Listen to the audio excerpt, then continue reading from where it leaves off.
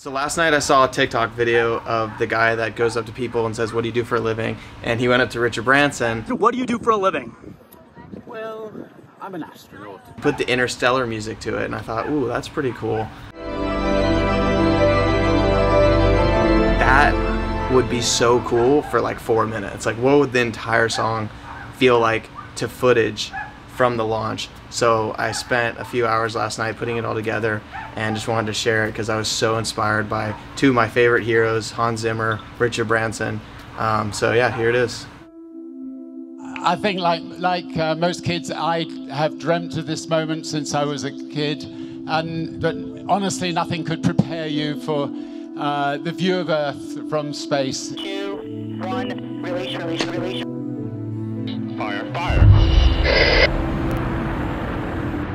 Thank you, thank you, thank you, thank you to every single person who has believed in Virgin Galactic, uh, the team who have worked so hard to make this dream come true. Love you all.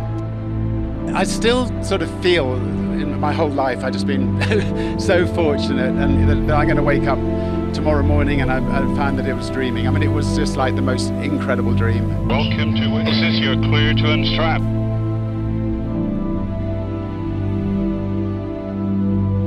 Welcome to space. To all you kids down there, I was once a child with a dream, looking up to the stars. Now I'm an adult in a spaceship with lots of other wonderful adults looking down to our beautiful, beautiful Earth. To the next generation of dreamers, if we can do this, just imagine what you can do. I, I mean, it's, it's so strange. You know, you're suddenly unbuckled, and the next moment, I see three people floating below me. Um, I, you know, just look out of the window uh, and just, you know, it, uh, it's, it is, it's just, uh, I'm, I'm never going to be able to do it justice. It's indescribably beautiful.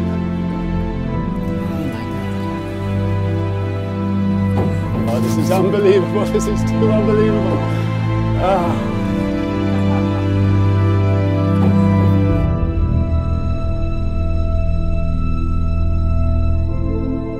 So just imagine a world where people of all ages, all backgrounds, from anywhere, of any gender, of any ethnicity, have equal access to space.